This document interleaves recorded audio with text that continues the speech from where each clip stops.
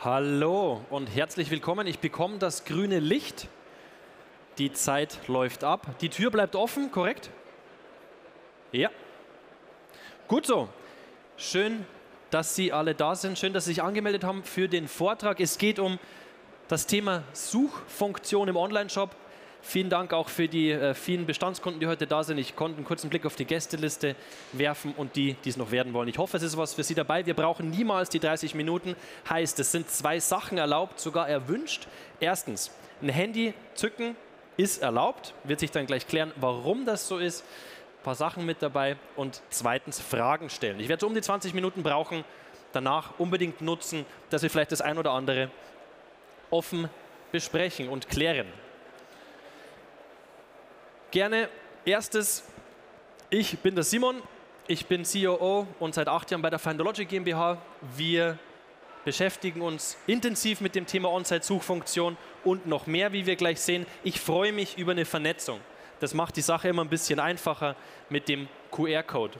Ich habe es gerade genannt, Findologic als Anbieter im Kern seit 2008 unterstützen wir tolle Brands, die Sie hier auf der rechten Seite sehen. Wir machen das Ganze aus Salzburg, London und München raus mit über ja, 20 Sprachen, 20 Ländern, in denen wir unsere Kunden begleiten dürfen zu den Themen.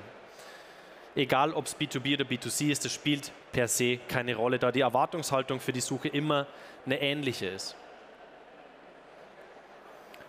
Ganz kurz, bevor wir ich habe natürlich jetzt Beispiele aus der Praxis dabei. Es wird jetzt kein Sales Pitch.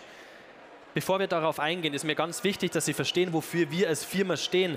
Wenn Sie sich auf der Demexco bewegen, die nächsten Stunden, vielleicht sogar auch morgen und nicht nur einen Tag da sind, es gibt sechs Anbieter zu diesem Thema. On-Site-Suchfunktion hier auf dieser Messe. Heißt, das Thema ist riesig, das Thema ist wahnsinnig wichtig. Umso schöner, dass Sie bei uns sind und hoffentlich dann auch die Kollegen mit den orangen Schuhen später besuchen in der gleichen Halle. Ähm, wir haben ein Credo, was wir verfolgen. Und das machen wir seit 2008. Wir sagen, wenn man etwas sucht, kostet das Nerven. Wenn man etwas findet, macht das Spaß. Heißt, wofür wir seit Ewigkeiten einstehen, ist, wir wollen Zeit und Frustration sparen. Unser Job in diesen Online-Shops ist, für die globalen Produktlisten, die ja oft tausende Produkte umfassen, eine schnellere Auffindbarkeit zu ermöglichen. Das ist unser Job. Das ist das, was uns Spaß macht. Und hoffentlich auch bald Ihnen und Ihren Kunden. Ich habe es vorher ganz kurz genannt, wir haben nicht nur Suche im Portfolio, wir haben auch andere Sachen im Angebot, also sprich äh, das ganze Thema Kategorie, Navigation kann man auch alles übersteuern, Perso, Reco, Shopping Guides. Wir gehen darauf nicht ein, wir gehen ausschließlich auf das wichtigste und zentralste Thema ein, die Suche. Die Suche ist und bleibt das Epizentrum in Ihrem Webshop, wo Sie die Möglichkeit haben, mit Ihrem Kunden zu sprechen, Ihren Kunden zu verstehen, wenn er den Webshop betritt und deswegen beschäftigen wir uns damit. Ganz wichtig, alles, was ich ab jetzt sage, wird am Ende eine Frage, äh, sage ich mal, abrunden. Wer diese Frage an unserem Messestand richtig beantwortet, bekommt zwei Wahnsinnssachen. Erstens, handgerollte, originale Mozartkugeln. Man muss dafür nach Salzburg. Heißt, ja, die Dame hat schon mal welche gegessen, deswegen freut sie sich schon. Die sind abzuholen, wenn man diese Frage am Ende der Präsentation richtig beantwortet. Wir schauen uns, bevor wir auf die Beispiele eingehen, ganz kurz, ich will damit nicht nerven, ich will, glaube ich, einfach nur einen allgemeinen Rahmen unterstreichen, in dem wir uns alle bewegen, egal ob jetzt Tech-Anbieter, also Third-Party oder Händler, Agentur, wie wir heute verteilt sind. Diese Grafik kennt wahrscheinlich mittlerweile jeder, die ist ja durch die sozialen Medien gegangen es wird uns weiter verfolgen. Spätestens seit letzter Woche äh, wissen wir auch Bescheid, dass die Core CPI wieder gestiegen ist. Das heißt, die Inflationsdaten werden uns weiter verfolgen. Wir werden bis 2023, hoffentlich nicht länger, damit zu kämpfen haben, dass den Kunden, egal wie man sie jetzt definiert, in welcher Position man gerade sitzt, das Geld nicht mehr so locker sitzen haben werden wie letztes Jahr gleiche Zeit. Heißt, es ist umso wichtiger, sich mit Themen zu beschäftigen, die konvertieren, die die Kunden, die ich teuer eingekauft habe, hinten raus auch zu Käufern macht. Auf die Zahlen brauchen wir nicht eingehen. Ich glaube, es hat jeder gelesen. Wer Shareholder ist von Shopify oder Klarna mit Aktien, ist ein Leidensgenosse von mir. wir schauen uns trotzdem noch ein bisschen weiter an, diesen Peak, den es ja trotzdem gibt und diesen Dip, in dem wir uns gerade bewegen.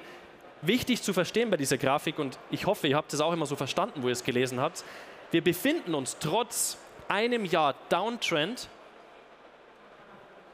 in einem absoluten Wachstumsmarkt. Und das ist wahnsinnig positiv. Das heißt, bitte versteht Sie mich nicht falsch, wir sind alle, wie wir sitzen, bullish, wir sind in der schönsten und abwechslungsreichsten Branche, die es gibt. Und wenn ich mir anschaue, 2020, was ja ein absolut irres Jahr war, da sind ja die Zahlen mit drinnen, wo ich keine andere Option hatte, als Online-Ware zu beziehen. Es wird sich in den nächsten fünf Jahren nochmal verdoppeln. Wie gesagt, ich würde es dieser Grafik, die würde ich nicht unterschreiben, dass es jetzt linear vor allem in der 23 weiter so steigt, mag dahingestellt sein. Trotzdem, wir bewegen uns in einem wahnsinnigen Wachstumsmarkt, auch wenn die jetzige Zeit ein bisschen drückt. Das zeigt auch ähm, nicht nur der äh, Vergleich, das waren jetzt US-Zahlen, für den Markt. Das sind jetzt Zahlen für weltweite Mobile Commerce Zahlen. Haben wir natürlich auch schöne Themen mit dabei. Linearer Wachstum von 20 Prozent. Weiterhin, ich weiß, ihr wart auf der Demexco 2019, 18, 17. Jeder hat gepredigt Mobile Commerce. Mobile Commerce ist immer noch ein Wahnsinnstrend. Da steckt richtiges Potenzial. Wenn ich Ihnen sage, Sie können 20 Prozent allein Mobile noch zulegen, ist es wahrscheinlich einen Blick wert. Die Grafik will ich so wenig komplex wie möglich darstellen, aber sie ist auch wahnsinnig wertvoll für Sie als Händler. Vielleicht hat es der eine oder andere gesehen, es ist eine Auswertung von Criteo zu einem spannenden Trend. Wo beginnen Sie? Wo beginnen Kunden zu suchen, wenn sie etwas wollen, wenn sie sich wenn sie ein Bedürfnis haben und das stillen wollen? In diesem dunkelorange sind die 2021er Zahlen, in dem hellen Orange die 19er Zahlen. Heißt, wir sehen einen Wahnsinnstrend, dass die, der Großteil der Kunden, in diesem Fall jetzt um die 10 Prozent in zwei Jahren, abwandern von Google als Engine, um ihre Produkte zu finden. Ich lasse jetzt mal Amazon aus, Sie sehen es in der Mitte, aber wir gehen ganz nach links, sprich, Kunden gehen direkt in ihre Shops. Kunden gehen zu ihren Brands um die, Kunden, um die Produkte zu finden, die sie suchen. Das ist ein wahnsinnig tolles Signal, was hier diese Auswertung ergeben hat. Zuwächse auf dieser Seite von 7% bis hin zu 8%. Finde ich wahnsinnig spannend und sollte uns alle bekräftigen, dass wir uns nicht auf Marktplätze verlassen, dass wir uns auf die Brand, die wir vertreten, stärken. Auch ein schönes Beispiel, das das nochmal unterstreicht. Messi Middle ist ein Begriff, gerne mal googeln. Ich glaube, er wurde sogar geprägt von Google. Beschreibt die Customer Journey im Webshop. Neben dieser Grafik definitiv auch wert zu wissen, es handelt sich um vier Momente der Wahrheit, four moments of truth. Was passiert, und schauen Sie immer auf sich selber bei diesen Ausführungen, was sind die Moments of Truth? Wir haben es vorher gelernt. Erster Moment of Truth ist Research. Ich habe diesen Trigger, ich komme auf die Idee, warum auch immer, ich brauche ein Produkt, meistens ist es ja sinnvoll. Ich brauche ein Produkt nach dem Trigger vier Moments of Truth. Erster ist Research. Und wie wir schön gelernt haben, der Research beginnt immer öfter bei Ihrer Brand. Tolles Signal. Zweiter Moment of Truth, Attention. Ich bin auf meinem Lieblingsshop. Was ist Ihr Lieblingsshop? Keine Marktplätze.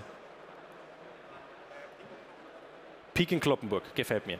Wir sind auf einer Peak in Kloppenburg, ich lande dort, wir wissen es alle, innerhalb kürzester Zeit entscheide ich mich, hat der Webshop meine Aufmerksamkeit oder nicht. Sprich Attention. Zweiter wichtiger Moment of Truth. Third Moment of Truth. Experience. Fühle ich mich wohl? Fühle ich mich verstanden? Klicke ich? Funktioniert es? Egal ob Navigation, Suche, Checkout, PDP. Es muss funktionieren. Dritter Moment of Truth. Experience. Vierter Moment of Truth wir finden uns da auch alle wieder, nehme ich an, ist Reviews, ist dieser Social Proof. Habe ich das irgendwo auf Instagram gesehen? Oh, mein Idol trägt das. Die Reviews sagen alle bei 13.000 Usern 5 Sterne. Probiere ich mal aus, kann ich nicht viel falsch machen. Diese Four Moments of Truth kommen vor dem Purchase. Und was kommt nach dem Purchase? Das ist Teil von diesem Vortrag heute. Die Loyalität. Ich habe nichts davon, dass ich mir wie in so einem Funnel meine Kunden züchte, ziehe für teures Geld. Ich habe nur was davon, wenn ich diese Kunden behalte. Stammkunden, das wissen wir alle, sind nicht nur günstiger, es sind die aktiven Referenzkunden, die ihre Brand überhaupt zu einer Brand machen. Heißt, wenn Sie was mitnehmen aus diesem Vortrag, bitte auch einfach diesen Satz. Es handelt sich bei der Customer Journey um keinen Funnel, es handelt sich um eine Infinite Loop. Wenn Sie eine Marke bauen wollen, wenn Sie Loyalität langjährig anbieten wollen, ist es unumgänglich, sich damit zu beschäftigen. Und das tun auch wir. Wir beschäftigen uns, wie gesagt, schon seit langem mit diesem Thema, sehr, sehr intensiv und machen manche Sachen anders als diese anderen sechs Anbieter, die Sie finden, als der Standard, der vielleicht in Ihrem Shopsystem vorherrscht. Ich habe hier ein wunderschönes Beispiel mit dabei, starke Brand, Alpha Industries. Ich lasse das Video jetzt zweimal laufen und erkläre es. Sie werden merken, das eine oder andere ist dort vielleicht schon ein bisschen anders als jetzt in Ihrem Webshop. Warum bieten Sie als Brand, mal die generelle Frage, bei Klick in das Suchfeld nicht erste relevante Empfehlung? Warum sprechen Sie den Kunden nicht an? Vielleicht mal mit den einfachsten Informationen. Ich weiß doch zu jedem Zeitpunkt, wonach wird gesucht. Was sind meine Topseller? Ja, ich kann das Ganze natürlich auch personalisiert gestalten. Also sprich, der Simon, der bekommt hier zum Beispiel die NASA-Klamotten angezeigt für Herren. Vielleicht habe ich eine einfache Segmentierung drinnen, die mir aber auch ermöglicht, direkt die Frauensachen anzuzeigen. Also ich habe hier ganz viele Möglichkeiten. Ich will auf ein paar Sachen raus erster Klick ins Suchfeld. Warum passiert nichts? Wir sind in 2022, da muss was passieren. Tut es.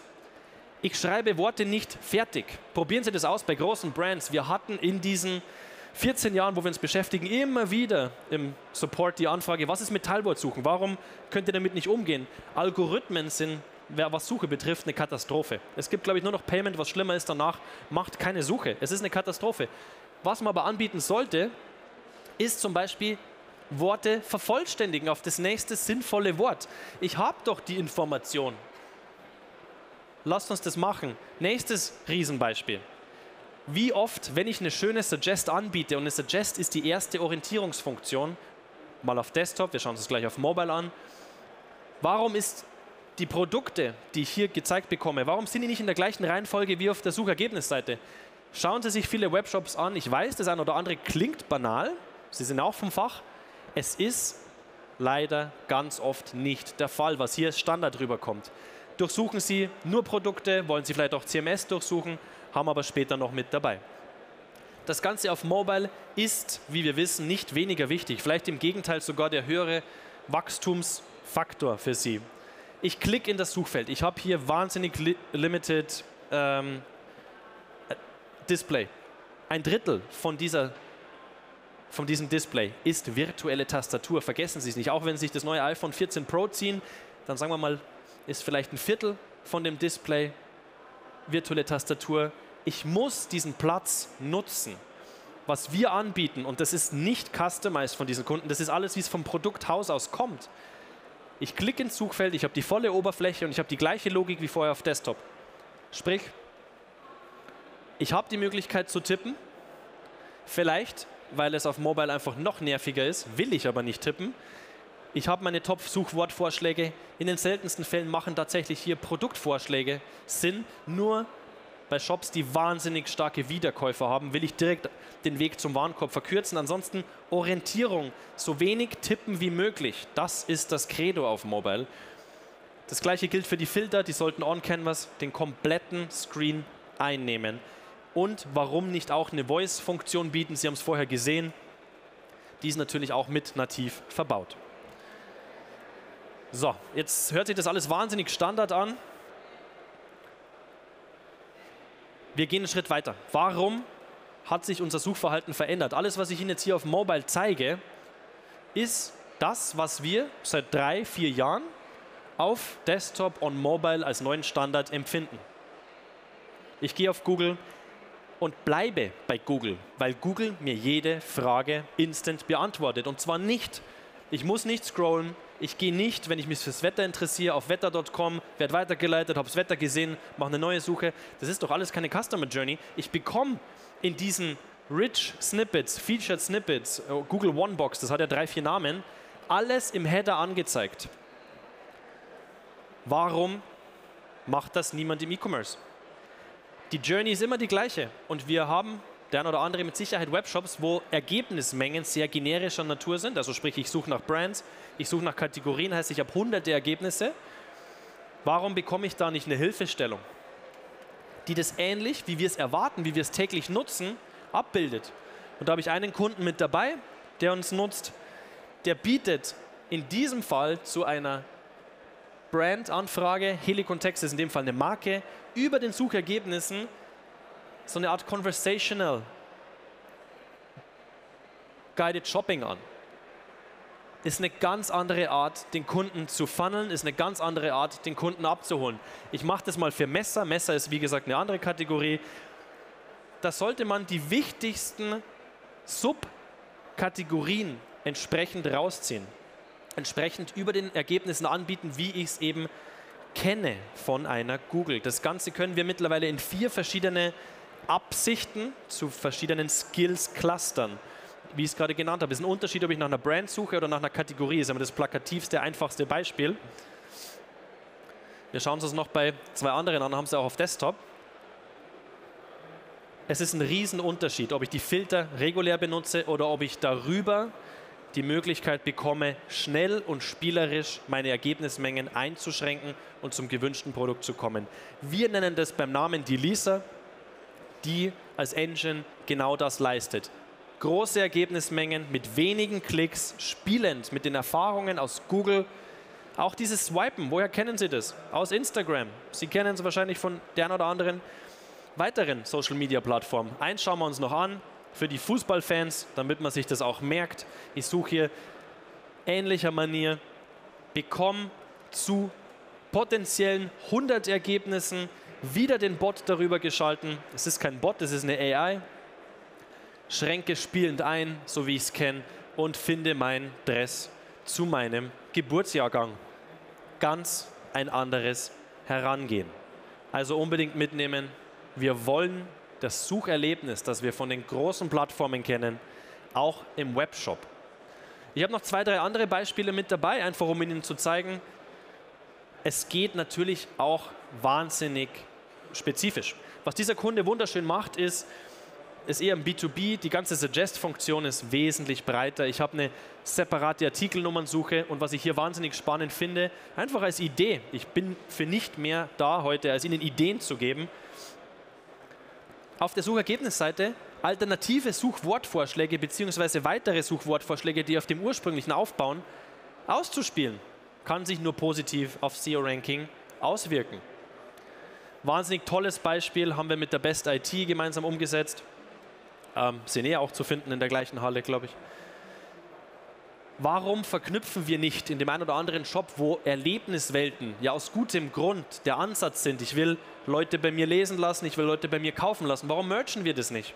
Warum führen wir das nicht zusammen? Was wir hier eindrucksvoll gemacht haben bei einer Calumet Photographic, ich zeige es nochmal von vorne, das Video ist ein bisschen kurz, ist von Haus aus den Merch anbieten. Ich begebe mich in die Suche, weil ich mich zum Beispiel zu einer Kanon informieren will. Habe zu jedem Zeit die Möglichkeit, schon in der Suggest die CMS-Daten zu durchsuchen und zu lesen, zu konsumieren aus der Konsumentenbrille. Auf Suchergebnisseite empfehlen wir, mit einer Tab-Solution zu arbeiten. Hier wunderschön einfach umgesetzt über zum Beispiel diese Icons. Und hier unten sehen Sie es auch wieder. Was ich vorher gezeigt habe mit Lisa, ist nicht nur limitiert auf Suchergebnisseiten. Navigationsseiten werden so aufgebaut. Man kann Indexseiten direkt so funneln und aufbauen. Und eines, da wird der Simon jetzt ein bisschen leise sein, einfach um Ihnen zu zeigen, wo wir uns hinbewegen. Auf der einen Seite ist es ja, was Stand heute ist. Es ist das erste Mal in der Masterclass gezeigt. Nehmen Sie es nicht für voll, was Sie hier sehen. Es ist kein Produkt, was Sie morgen beziehen können. Es ist ein Prototyp, den wir im großen Stil für einen großen Möbelhändler hergestellt haben. Schauen Sie, was möglich ist.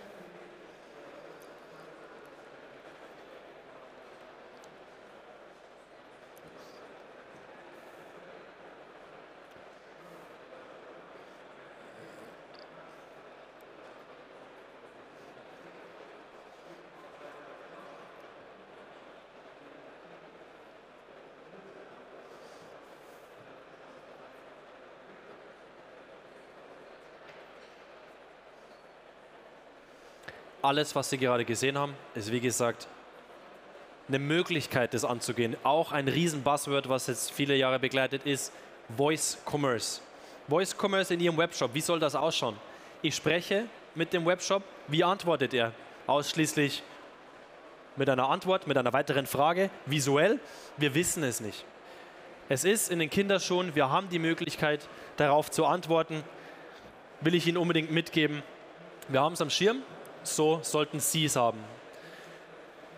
Wir werden uns immer in diese Richtung bewegen, dass wir das Thema Suche disruptiv angehen werden. Sie werden viele Gespräche führen, auch mit Mitarbeitern, wo es darum heißt, ich will Produkt 1 auf Platz 1.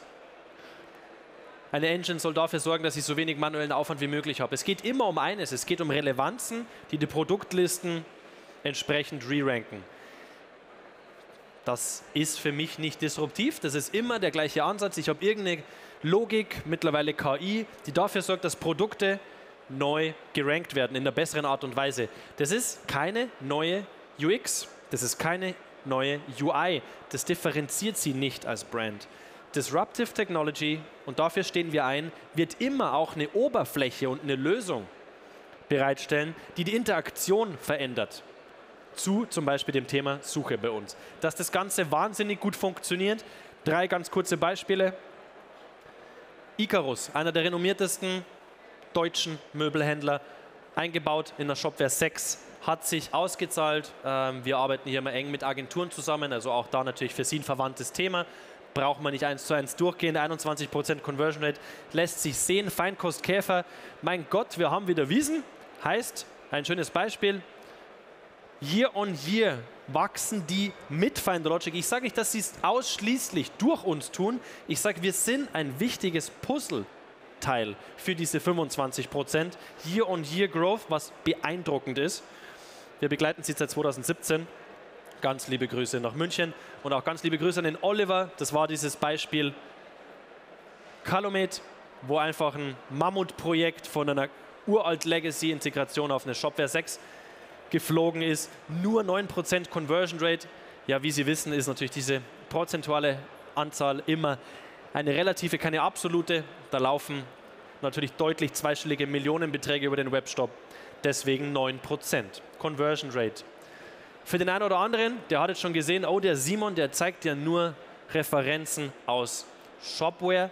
Ja, wir sind komplett eigentlich systemagnostisch zu verbauen. Am wohlsten fühlen wir uns tatsächlich in dieser Plattform. Dieser QR-Code gibt die Möglichkeit zum exklusiven Überblick mit ähnlichen Content, den Sie gerade gesehen haben, gerne abspeichern. Ansonsten, wir haben das auch in der Print-Version mit am Messestand dabei. Was wir am Messestand auch noch mit dabei haben, sind wie gesagt Orange Red Bull aus Fuschel, Fuschel, Salzburg, macht Sinn. Und wir haben die Mozartkugeln mit dabei in der Geschenkverpackung. Vielleicht für die Frau, vielleicht hier direkt essen zwischendurch, I don't know. Die Frage dazu, die es zu beantworten gibt, damit man sowas abstauben kann am Messestand, einfach hier die Hall runter und Sie sehen Find the Logic. Was war die erste Brand, die ich heute gezeigt habe? Was war der erste Webshop, wo wir diese First-Click-Interaction mit der Assisted Suggest gesehen haben? Nicht jetzt rausschreien, sonst kriegt jeder was, so viel haben wir nicht dabei. Wenn Sie es wissen, Mozart-Kugel abstauben.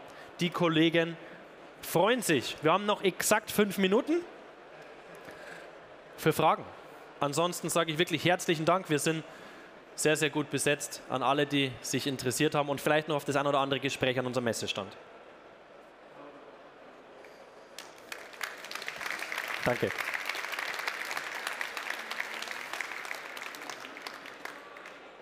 Mit Fragen ist aber generell schwierig. Ich höre nämlich nur Messelärm. Insofern, oh, die Dame bringt ein Mikro. Wer will ein Mikro? Hinten, rechts, hinten, links. Hallo, erstmal vielen Dank für den Vortrag, sehr spannend. Dankeschön. Ähm, wir bauen E-Commerce-Lösungen im Bereich B2B mhm. und äh, da haben wir immer wieder Herausforderungen, zum Beispiel kundenspezifische Preise, kundenspezifische Segmente. Wie äh, könnte ich mir das in Finder Logic vorstellen? Super valide Frage und vielen Dank fürs Aufstehen. Meistens ist es ja so, wenn niemand aufsteht, schnell wieder raus und was abholen. Wir lösen das und deswegen gerne diesen QR-Code scannen. Ich weiß, der Comeback der letzten zwei Jahre kann keiner mehr sehen. mit User Groups.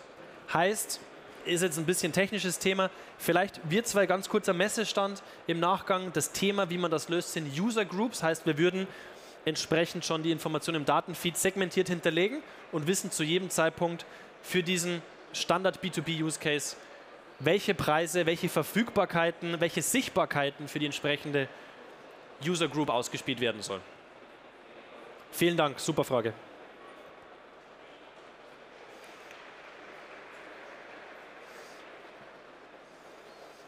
Gut, in diesem Sinne, ihr seid entlassen. Ich freue mich auf viele Gespräche. Halle runter, Mozartkugeln abstauben. Schönen und erfolgreichen Tag. Servus.